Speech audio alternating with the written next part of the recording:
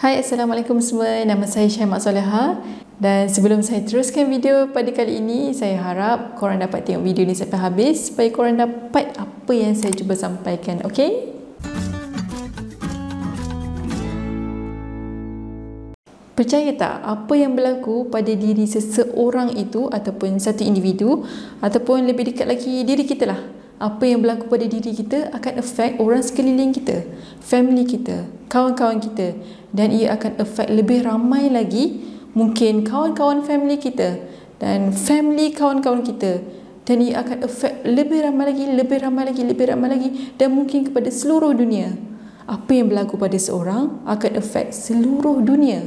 So, continuous effect ni, fenomena ini dipanggil ripple effect. So menurut Cambridge Dictionary, it defines the ripple effect as a situation in which one event produce effects which spread and produce further effect ataupun a series of things that happen as a result of a particular event or action.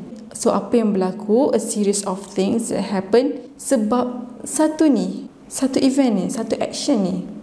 Dan dalam communication, the best example is gossip. Gossip bermula daripada dua orang ataupun satu kumpulan kecil.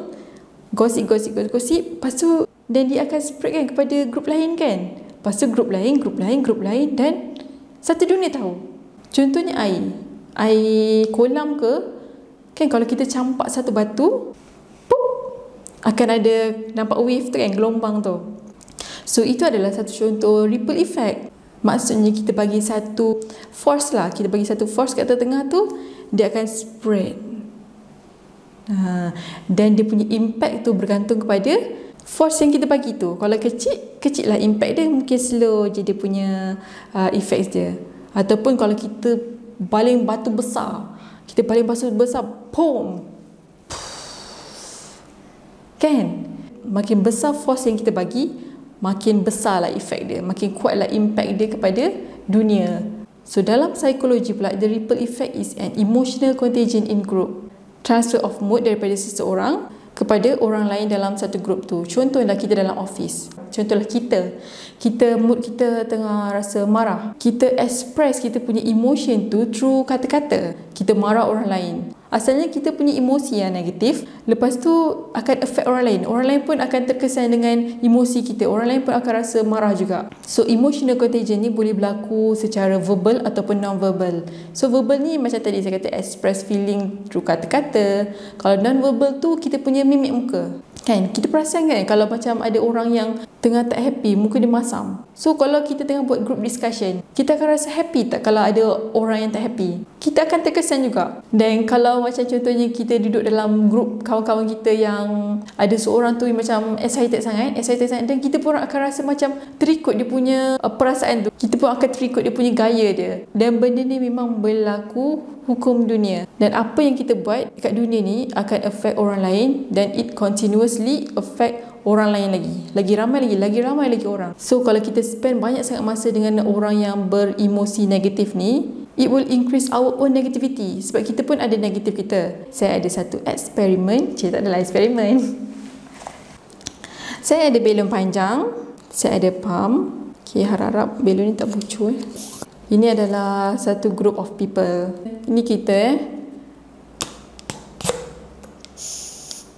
Apa yang ada pada kita, kita akan transfer kepada orang lain. Apa yang ada pada kita, apa yang kita lakukan, akan transfer pada orang lain dalam group yang sama. Dan ia akan spread pada kelompok yang lebih besar. Lebih ramai lagi akan affected.